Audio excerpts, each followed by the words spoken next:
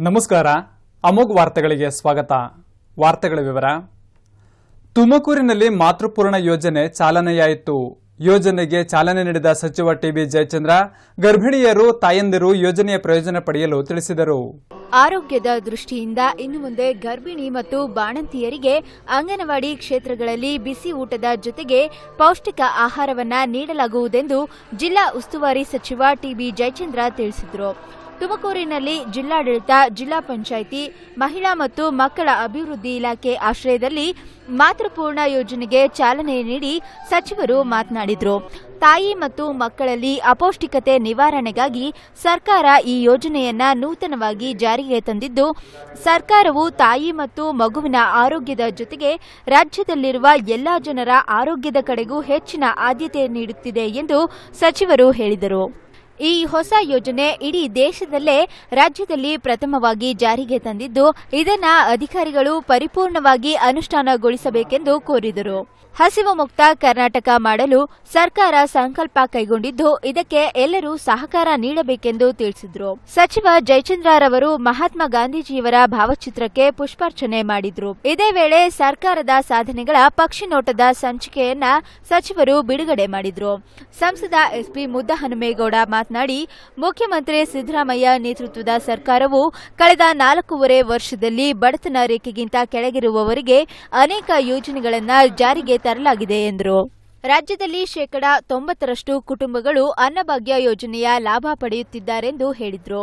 ಮಾತೃಪೂರ್ಣ ಹೊಸ ಯೋಜನೆಯ ಲಾಭವನ್ನ ಎಪ್ಪತ್ತು ಲಕ್ಷ ಜನರು ಪಡೆಯಲಿದ್ದಾರೆಂದು ಸಂಸದರು ತಿಳಿಸಿದರು. ಕಾರ್ಯಕ್ರಮದಲ್ಲಿ ಜಿಲ್ಲಾ ಪಂಚಾಯತ್ ಅಧ್ಯಕ್ಷೆ ಲತಾ ರವಿಕುಮಾರ್, ಉಪಾಧ್ಯಕ್ಷೆ ಶಾರದಾ ನರಸಿಂಹಮೂರ್ತಿ, ಹೆಚ್ಚುವರಿ ಜಿಲ್ಲಾಧಿಕಾರಿ ಅನಿತಾ, ಜಿಲ್ಲಾ ಪಂಚಾಯತ್ ಉಪಕಾರ್ಯದರ್ಶಿ ಪ್ರಕಾಶ್, ಮಹಿಳಾ ಮತ್ತು ಮಕ್ಕಳ ಅಭಿವೃದ್ಧಿ ಇಲಾಖೆಯ ಉಪನಿರ್ದೇಶಕ ಎಚ್ಎಸ್ ಪರಮೇಶ್ವರಪ್ಪ, ಜಿಲ್ಲಾ ಪಂಚಾಯತ್ ಸದಸ್ಯೆ ಜಯಲಕ್ಷ್ಮಮ್ಮ ಮತ್ತಿತರರು ಪಾಲ್ಗೊಂಡಿದ್ರು. ಶಾಸಕ ಡಾಕ್ಟರ್ ರಫೀಕ್ ಅಹಮದ್ ಅಧ್ಯಕ್ಷತೆ ವಹಿಸಿದ್ರು. ಸ- ಕಾರ್ಯಕ್ರಮದ ನಂತರ ಎಪ್ಪತ್ನಾಲ್ಕು ಅಂಗವಿಕಲರಿಗೆ ತ್ರಿಚಕ್ರ ವಾಹನಗಳನ್ನ ಸಚಿವರಾದಿಯಾಗಿ ಗಣ್ಯರು ವಿತರಿಸಿದ್ರು. ಜಿಲ್ಲಾಧಿಕಾರಿ ಕಚೇರಿಯಲ್ಲಿ ಗಾಂಧೀಜಿ ಹಾಗೂ ಲಾಲ್ ಬಹದ್ದೂರ್ ಶಾಸ್ತ್ರಿ ಜಯಂತಿ ಆಚರಿಸಿ ಮಹನೀಯರಿಗೆ ಗೌರವ ಸಲ್ಲಿಸಲಾಯಿತು. ತುಮಕೂರಿನ ಜಿಲ್ಲಾಧಿಕಾರಿ ಕಚೇರಿಯಲ್ಲಿ ಗಾಂಧಿ ಜಯಂತಿ ಹಾಗೂ ಲಾಲ್ ಬಹದ್ದೂರ್ ಶಾಸ್ತ್ರಿ ಜಯಂತಿ ಆಚರಿಸಿ ಇಬ್ಬರು ಮಹನೀಯರಿಗೆ ಗೌರವ ಸಲ್ಲಿಸಲಾಯಿತು. ಅಪರ ಜಿಲ್ಲಾಧಿಕಾರಿ ಸಿ ಅನಿತಾ, ಮಹನೀಯರ ಭಾವಚಿತ್ರಕ್ಕೆ ಪೂಜೆ ಸಲ್ಲಿಸಿ ಪುಷ್ಪಾರ್ಚನೆ ಮಾಡಿ ಗೌರವ ನಮನ ಸಲ್ಲಿಸಿದರು. ಈ ವೇಳೆ ತಹಸೀಲ್ದಾರ್ ರಂಗೇಗೌಡ ಸೇರಿದಂತೆ ವಿವಿಧ ಇಲಾಖೆ ಅಧಿಕಾರಿಗಳು ಪಾಲ್ಗೊಂಡಿದ್ದರು ನಂತರ ಬಾಪೂಜಿ ಶಾಲೆ ವಿದ್ಯಾರ್ಥಿಗಳು ಗಾಂಧಿ ಭಜನೆ ನಡೆಸಿಕೊಟ್ಟರು.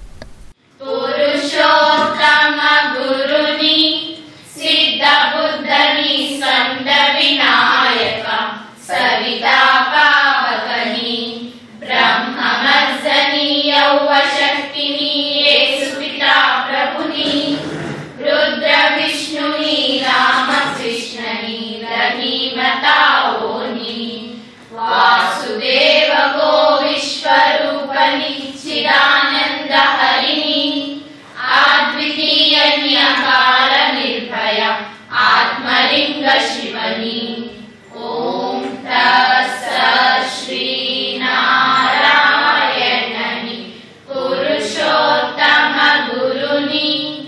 ಗಾಂಧಿ ಜಯಂತಿ ಅಂಗವಾಗಿ ಜಿಲ್ಲಾ ಪಂಚಾಯಿತಿಯಿಂದ ಸ್ವಚ್ಛತಾ ಕಾರ್ಯಕ್ರಮವನ್ನು ಹಮ್ಮಿಕೊಳ್ಳಲಾಗಿತ್ತು.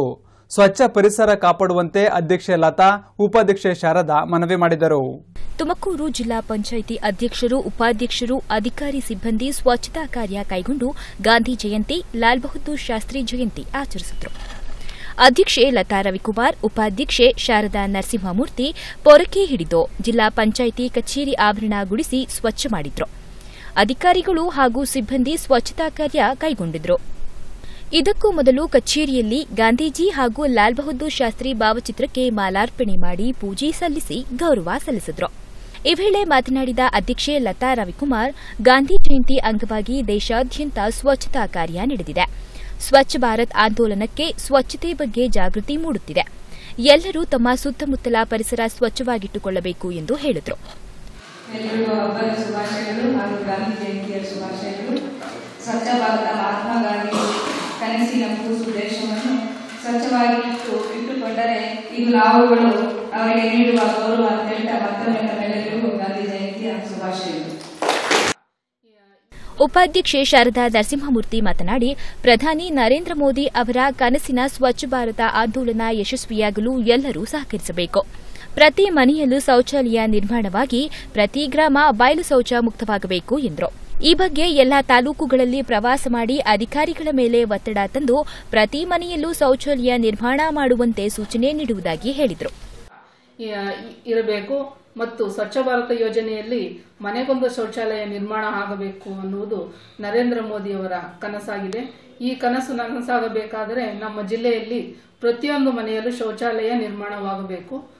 ಆ ನಿಟ್ಟಿನಲ್ಲಿ ನಾವು, ನಾನು ಸಾಮಾನ್ಯ ಸ್ಥಾಯಿ ಸಮಿತಿಯ ಅಧ್ಯಕ್ಷರಾಗಿ ಕಟ್ಟಡಗಳಿಗೆ ಸಂಬಂಧಪಟ್ಟಂತೆ ಸಭೆಗಳನ್ನು ಮಾಡಿ ಪ್ರತಿಯೊಂದು ತಾಲೂಕಿಗೆ ಹೋಗಿ ಇಒಗಳು ಮತ್ತೆ ಒ ಮತ್ತು ತಾಲೂಕು ಮಟ್ಟದ ಪಿ ಡಿ ಒಗಳು ಸೇರಿ ಸಭೆಯನ್ನು ಮಾಡಿ ಶೌಚಾಲಯಗಳ ಬಗ್ಗೆ ಮೇಲಿಂದ ಮೇಲೆ ನಾವು ಅಧಿಕಾರಿಗಳಿಗೆ ಸಭೆಯನ್ನು ತೆಗೆದುಕೊಂಡು ಸಿಇಒ ಅವರು ಜಿಲ್ಲಾ ಪಂಚಾಯಿತಿ ಅಧ್ಯಕ್ಷರು ಹಾಗೂ ನಾನು ಕೂಡ ಮೇಲಿಂದ ಮೇಲೆ ಒತ್ತಡ ಹಾಕಿ ಈ ಸಭೆಯನ್ನು ಮಾಡಿ ಶೌಚಾಲಯ ನಿರ್ಮಾಣ ಮಾಡೋದಕ್ಕೆ ಹೆಚ್ಚಿನ ಒತ್ತನ್ನು ಕೊಟ್ಟು ಈ- ಕೆಲಸವನ್ನು ಮಾಡ್ತಾ ಇದ್ದೇವೆ. ನರೇಂದ್ರ ಮೋದಿಯವರ ಕನಸು ನನಸನ್ನು ಮಾಡುತ್ತೇವೆ ಜಿಲ್ಲಾ ಪಂಚಾಯಿತಿ ಉಪಕಾರ್ಯದರ್ಶಿ ಕರಿಯಪ್ಪ ಹಾಗೂ ವಿವಿಧ ವಿಭಾಗದ ಅಧಿಕಾರಿಗಳು ಸಿಬ್ಬಂದಿ ಕಾರ್ಯಕ್ರಮದಲ್ಲಿ ಪಾಲ್ಗೊಂಡಿದ್ದರು. ಗುಬ್ಬಿಯ ಬಾಲಾಜಿ ಸೇವಾ ಟ್ರಸ್ಟ್ ಅಧ್ಯಕ್ಷ ಕೆ ಕುಮಾರ್ ತುಮಕೂರು ಕಾಂಗ್ರೆಸ್ ಕಚೇರಿಯಲ್ಲಿ ಕಾಂಗ್ರೆಸ್ ಸೇರ್ಪಡೆಯಾದರು. ಸಚಿವ ಟಿಬಿ ಜಯಚಂದ್ರ, ಸಂಸದರು, ಶಾಸಕರು ಕುಮಾರ್ ಅವರನ್ನು ಪಕ್ಷಕ್ಕೆ ಸ್ವಾಗತಿಸಿದರು. ಗುಬ್ಬಿಯ ಸಮಾಜ ಸೇವಕ ಬಾಲಾಜಿ ಸೇವಾ ಟ್ರಸ್ಟ್ನ ಅಧ್ಯಕ್ಷ ಕೆ ಕುಮಾರ್ ಕಾಂಗ್ರೆಸ್ ಪಕ್ಷ ಸೇರ್ಪಡೆಯಾದರು.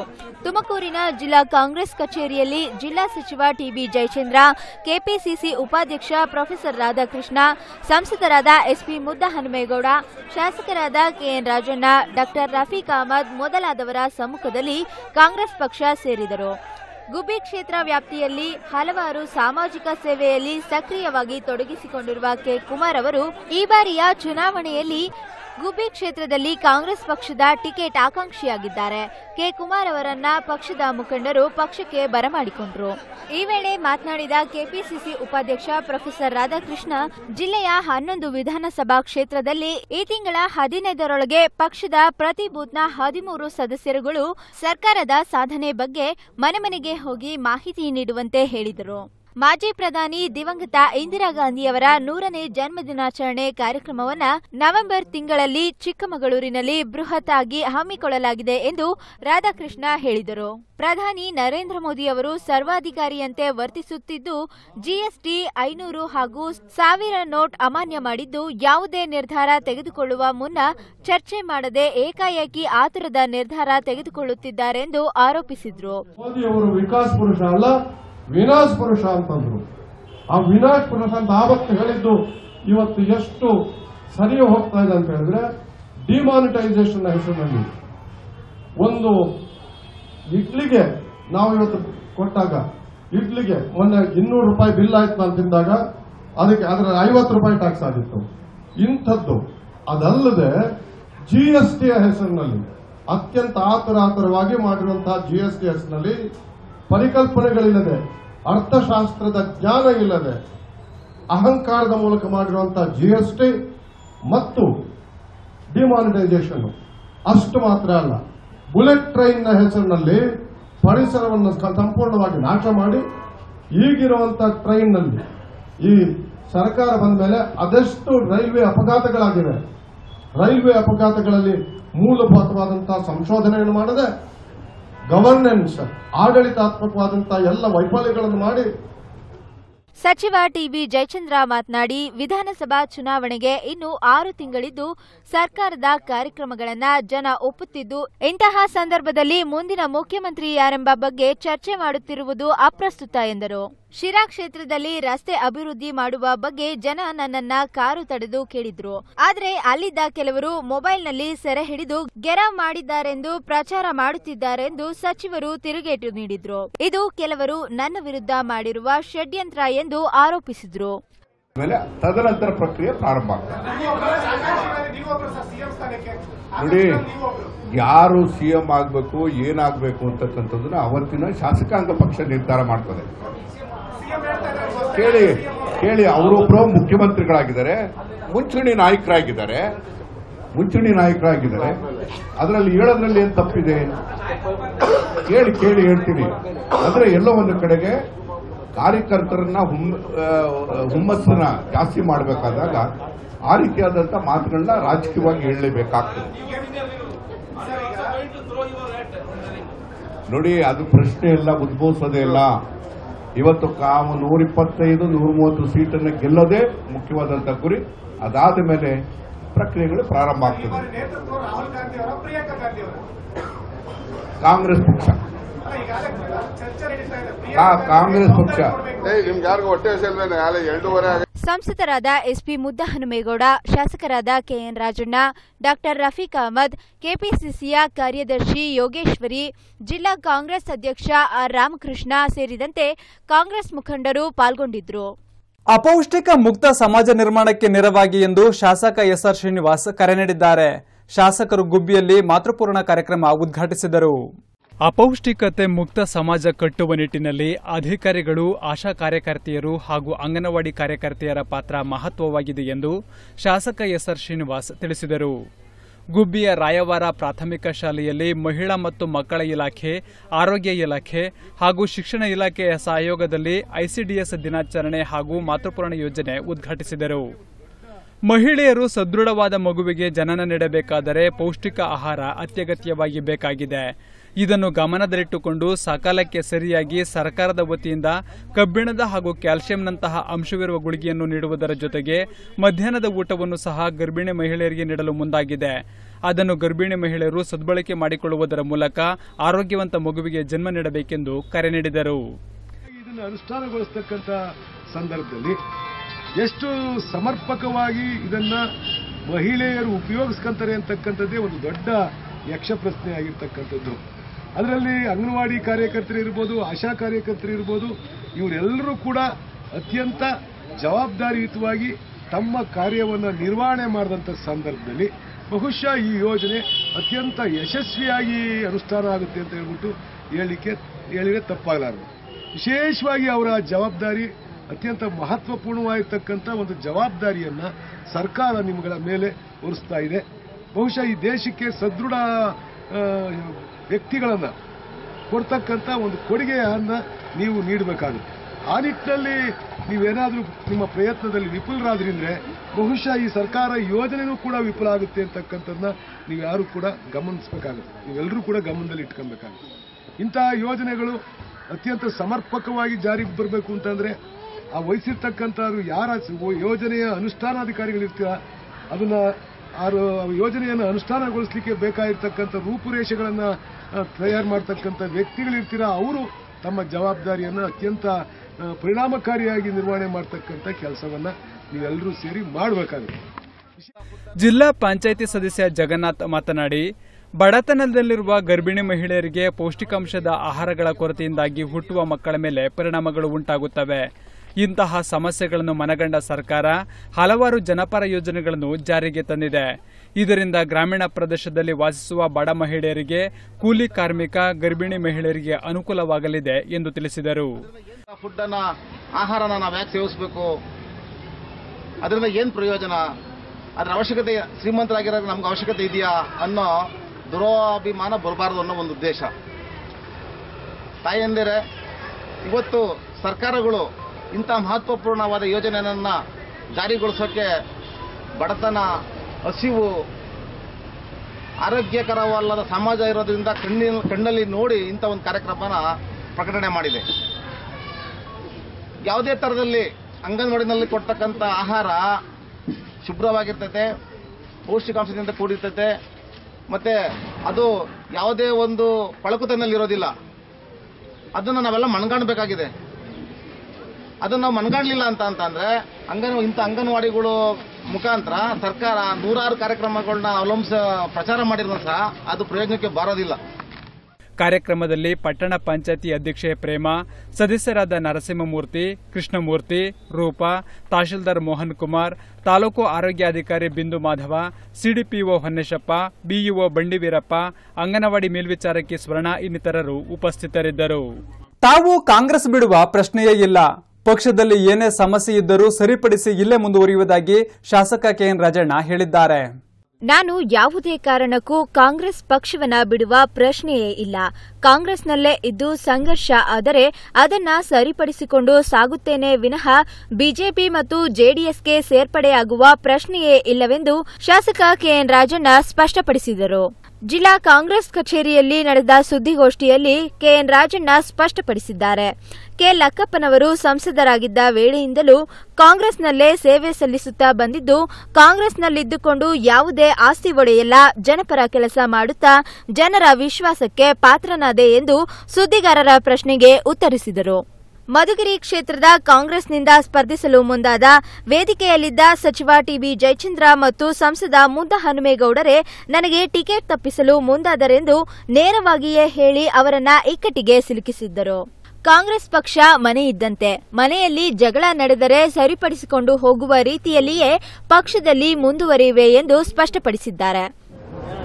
ನಮ್ಮ ಪಕ್ಷದ ಸಾಧನೆಗಳನ್ನ ತಿಳಿಸ್ಲಿಕ್ಕೆ ಒಂದು ಪ್ರಯತ್ನವನ್ನ ಮಾಡ್ತಕ್ಕಂಥ ಕಾರ್ಯಕ್ರಮಗಳು, ಆ ಕಾರ್ಯಕ್ರಮಕ್ಕೆ ತಾವೆಲ್ಲರೂ ಕೂಡ ಸಹಕಾರವನ್ನು ಕೊಡ್ತೀರಿ ಅಂತ ಹೇಳಿ ಆಶಯವನ್ನ ವ್ಯಕ್ತಪಡಿಸ್ತೀರ.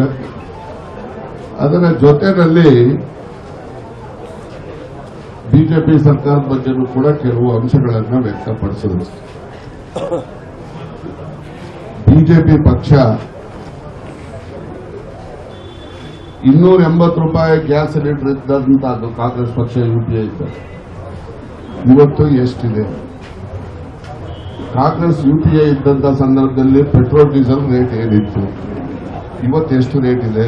ಅಂದು ಕೂಡ ಇದು ಇಂಟರ್ನ್ಯಾಷನಲ್ ಮಾರ್ಕೆಟ್ ಅಲ್ಲಿ ಎಷ್ಟು ಡಾಲರ್ಸ್ ಇತ್ತು?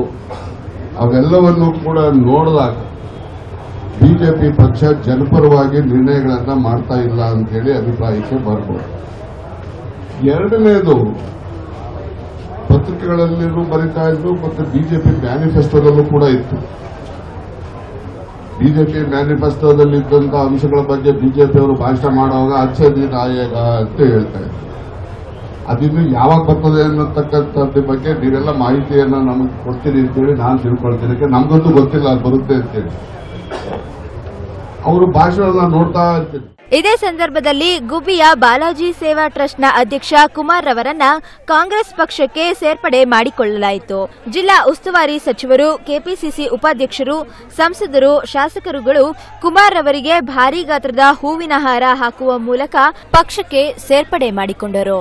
ತಿಪಟೂರಿನಲ್ಲಿ ಗಾಂಧಿ ಜಯಂತಿ ಹಾಗೂ ದೇವರಾಜ ಅರಸು ಜಯಂತಿಯನ್ನು ಆಚರಿಸಲಾಯಿತು. ತಿಪಟೂರಿನಲ್ಲಿ ರಾಷ್ಟ್ರಪಿತ ಮಹಾತ್ಮ ಗಾಂಧಿ ಜಯಂತಿ ಹಾಗೂ ಹಿಂದುಳಿದ ವರ್ಗಗಳ ಹರಿಕಾರ ಡಿ. ದೇವರಾಜು ಅರಸು ಜಯಂತಿಯನ್ನ ಆಚರಿಸಲಾಯಿತು.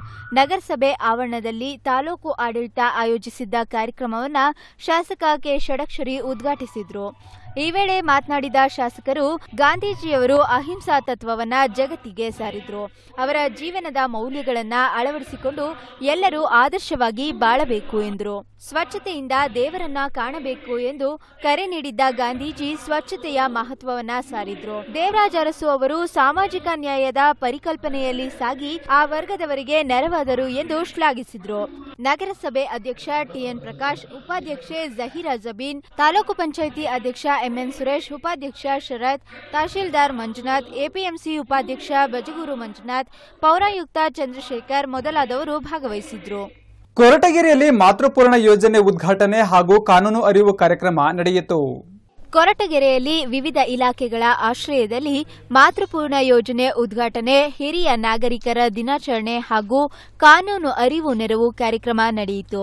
ನ್ಯಾಯಾಧೀಶ ವಿ. ಪ್ರಕಾಶ್ ಕಾರ್ಯಕ್ರಮ ಉದ್ಘಾಟಿಸಿ ಸರ್ಕಾರದ ಯೋಜನೆಗಳು ಸಮರ್ಪಕವಾಗಿ ಜನರಿಗೆ ತಲುಪಲು ಅಧಿಕಾರಿಗಳು ಜವಾಬ್ದಾರಿ ಹೊಂದಬೇಕು ಎಂದರು.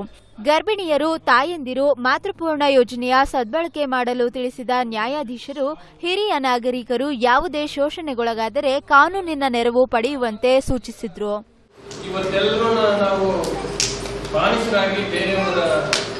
ಅಧಿಕಾರದಲ್ಲಿ ಮಾತ್ರ ನಾವು ಸ್ವತಂತ್ರವಾಗಿ ಸರ್ಕಾರ ಜನಸೇವೆ ಮಾಡೋದಕ್ಕಾಗಲಿ ಅವಕಾಶ ಆಗ್ತಾ ಇದೆ. ಹೌದಲ್ವ ಇದನ್ನೆಲ್ಲ ಕಲ್ಪಿಕೊಟ್ಟಂತಹ ಸ್ವತಂತ್ರನ ನಾವು ಸ್ವತಂತ್ರನ ನಾವು ಉಪಯೋಗಿಸ್ಕೊಂಡು ನಾವು ನಮ್ಮ ದೇಶವನ್ನ ಅತ್ಯುನ್ನತ ಸ್ಥಾನಕ್ಕೆ ತೆಗೆದುಕೊಂಡು ಹೋಗುವಂತ ಜವಾಬ್ದಾರಿ ನಮ್ಮೇನಿದೆ ಶಾಸಕ ಪಿಆರ್ ಸುಧಾಕರ್ ಲಾಲ್ ಮಾತನಾಡಿ ಅಂಗನವಾಡಿ ಶಿಕ್ಷಕಿಯರು ತಾಯಿಯಂತೆ ಮಕ್ಕಳನ್ನ ಬೆಳೆಸುತ್ತಿದ್ದು ಅವರ ಸೇವೆ ಶ್ಲಾಘನೀಯ. ಆದರೆ ಸರ್ಕಾರ ಅವರಿಗೆ ನೀಡುವ ಸೌಕರ್ಯ ಮಾತ್ರ ಕಮ್ಮಿ ಎಂದರು ನಮ್ಮ ಸಮಾಜದಲ್ಲಿ ಇರ್ತಕ್ಕಂಥ ಹೆಣ್ಣುಮಕ್ಕಳೇನಿದ್ದಾರೆ ಅವಕ್ಕೆ ಅವಶ್ಯಕತೆ ಇರ್ತಕ್ಕಂಥ ಏನು ಆಹಾರ ಅವಕ್ಕೆ ಸಿಗಬೇಕು ಮತ್ತೆ ವಿಶೇಷವಾಗಿ ಏನು ಆ, ಬಾಣಂತಿಯರು ಮತ್ತೆ ಹೆರಿಗೆ ಆ, ಆಗ್ತಕ್ಕಂಥ ಸಂದರ್ಭದಲ್ಲಿ ಆ ತಾಯಂದಿರಿಗೆ ಬೇಕಾಗಿರ್ತಕ್ಕಂಥ ಎಲ್ಲ ಸೌಲಭ್ಯಗಳನ್ನ ಕೊಡಬೇಕು ಅಂತ ಹೇಳಿ ಬಹಳಷ್ಟು ಯೋಜನೆಗಳನ್ನ ತಂದಿದೆ ಅದರಲ್ಲಿ ಕೂಡ ಅದು ಕೂಡ ಏನಿದೆ ಅದು ಕೂಡ ಒಂದು ಮಹತ್ವವಾಗಿರ್ತಕ್ಕಂಥ ಯೋಜನೆ ಇದರ ಸದುಪಯೋಗವನ್ನ ತಾವೆಲ್ಲರೂ ಪಡ್ಕೋಬೇಕು ಅಂತಕ್ಕಂಥ ಮಾತನ್ನ ಕೂಡ ಹೇಳ್ತಾ ನಾವು ಇವತ್ತು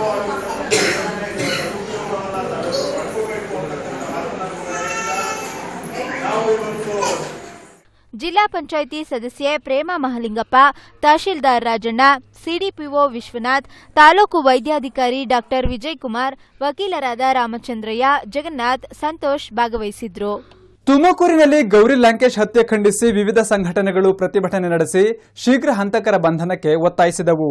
ವಿಚಾರವಾದಿ ಪತ್ರಕರ್ತೆ ಗೌರಿ ಲಂಕೇಶ್ ಹತ್ಯೆಯಾಗಿ ತಿಂಗಳಾಗುತ್ತಾ ಬಂದರೂ ಹಂತಕರನ್ನ ಬಂಧಿಸಿಲ್ಲ. ಈ ಕೂಡಲೇ ಹಂತಕರನ್ನ ಬಂಧಿಸಿ ಶಿಕ್ಷಿಸಬೇಕೆಂದು ಆಗ್ರಹಿಸಿ ತುಮಕೂರಿನಲ್ಲಿ ಪ್ರತಿಭಟನೆ ನಡೆಯಿತು. ಜನಪರ, ಜೀವಪರ ಸಂಘಟನೆಗಳ ಒಕ್ಕೂಟ ಮತ್ತು ಗೌರಿ ಲಂಕೇಶ್ ಹತ್ಯೆ ವಿರೋಧಿ ವೇದಿಕೆ ಕಾರ್ಯಕರ್ತರು ನಗರದ ಟೌನಾಲ್ ವೃತ್ತದಲ್ಲಿ ಪ್ರತಿಭಟನೆ ನಡೆಸಿ ಗೌರಿ ಕೊಂದ ದುಷ್ಕರ್ಮಿಗಳನ್ನ ಬಂಧಿಸುವಂತೆ ಆಗ್ರಹಿಸಿದರು. ಈ ವೇಳೆ ಚಿಂತಕಿ ಅನ್ನಪೂರ್ಣ ವೆಂಕಟನಂಜಪ್ಪ ಮಾತನಾಡಿ ಗೌರಿ ಹತ್ಯೆ ಇಡೀ ಸಮಾಜವೇ ತಲೆ ತಗ್ಗಿಸುವಂತಹ ಕೃತ್ಯವಾಗಿದೆ.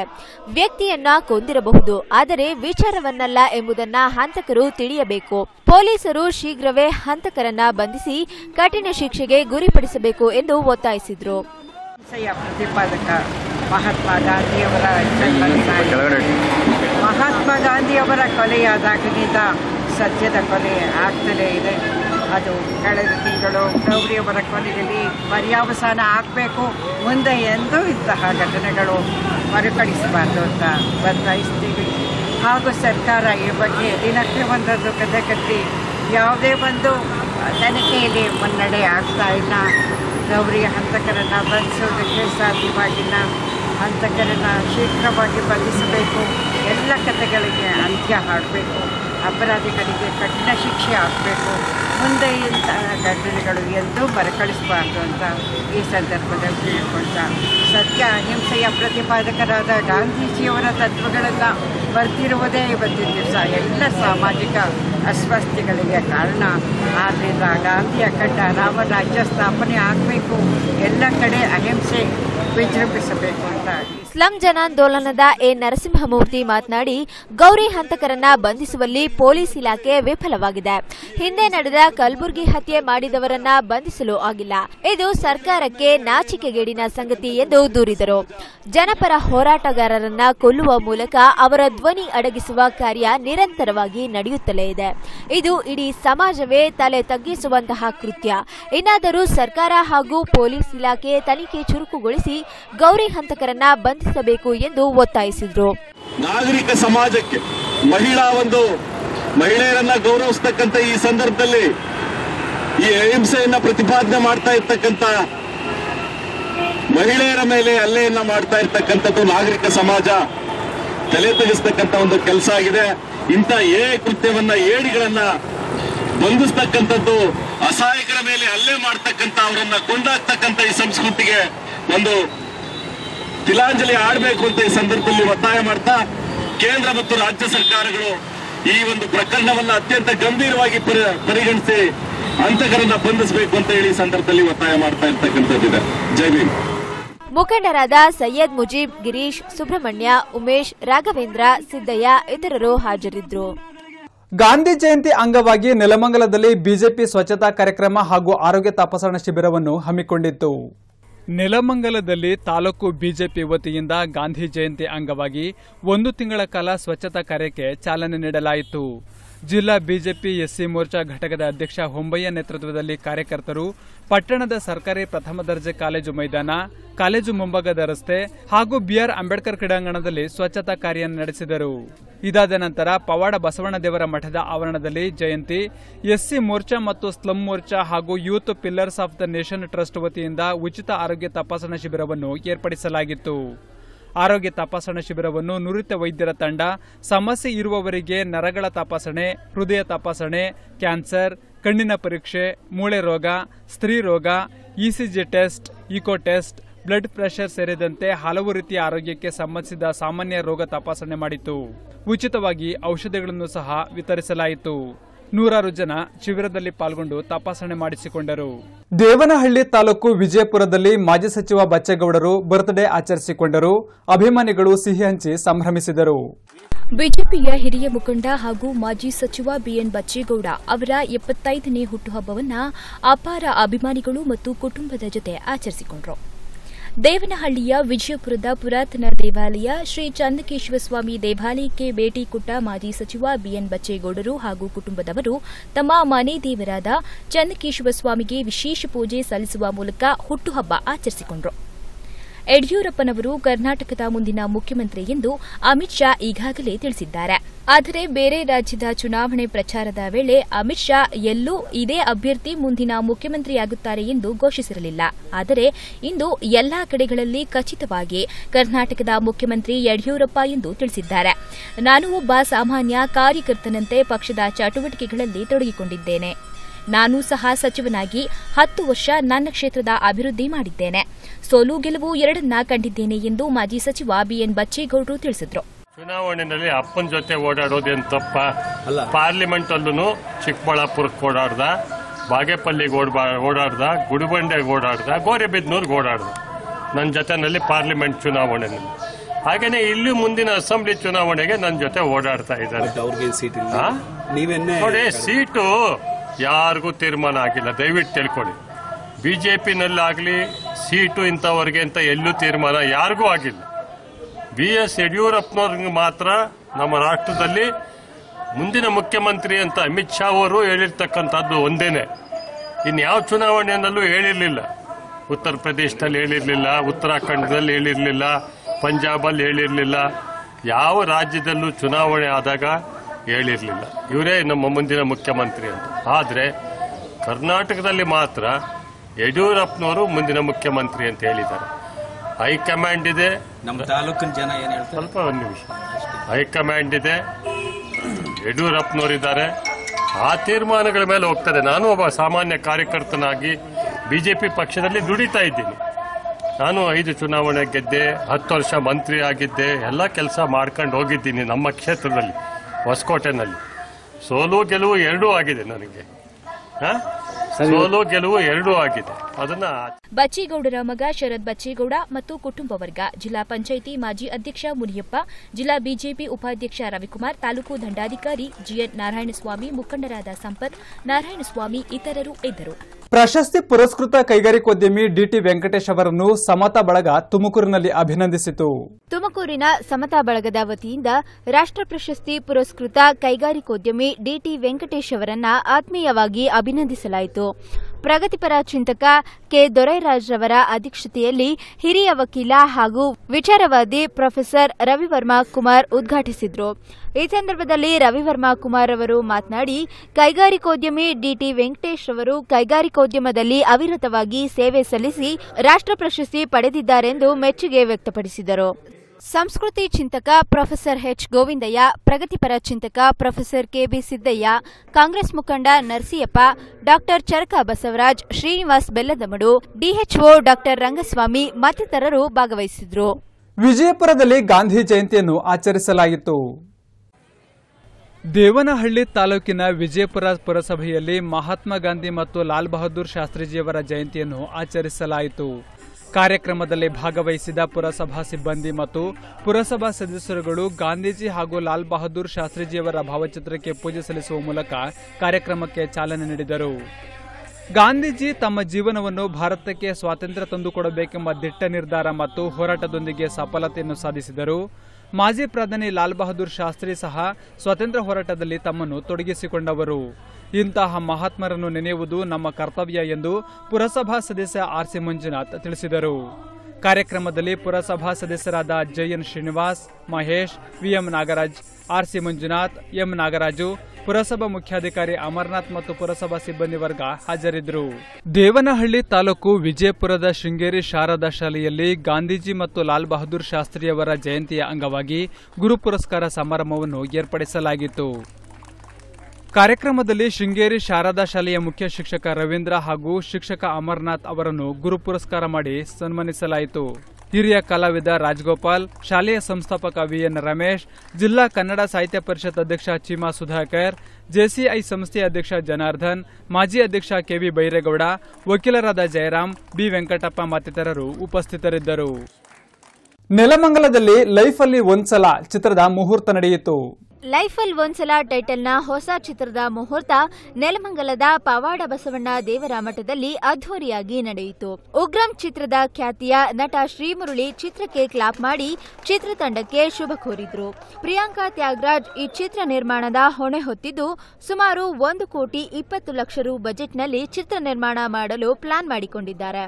ಸ್ವಾಮಿಯವರ ನಿರ್ದೇಶನದಲ್ಲಿ ಈ ಚಿತ್ರ ಮೂಡಿಬರಲಿದ್ದು, ಚಿತ್ರದಲ್ಲಿ ಹೆಚ್ಚಿನ ಭಾಗ ಹೊಸ ಪ್ರತಿಭೆಗಳಿಗೆ ಅವಕಾಶವನ್ನ ನೀಡಲಾಗಿದೆ. ಮೈಸೂರು, ಮಡಿಕೇರಿ, ಚಿಕ್ಕಮಗಳೂರು, ಕಲಬುರಗಿ ಹಾಗೂ ಬೀದರ್ನ ತಾಣಗಳಲ್ಲಿ ಚಿತ್ರವನ್ನ ಚಿತ್ರೀಕರಿಸಲು ಚಿತ್ರತಂಡ ಯೋಜನೆ ಮಾಡಿದೆ. ಇಲ್ಲಿಗೆ ಅಮೋಘ್ ವಾರ್ತಾ ಪ್ರಸಾರ ಮುಕ್ತಾಯವಾಯಿತು. ಮುಂದಿನ ವಾರ್ತೆಗಳೊಂದಿಗೆ ಭೇಟಿಯಾಗೋಣ. ವಂದನೆಗಳೊಂದಿಗೆ ಕೆಆರ್ ಪಾಲಾಕ್ಷ.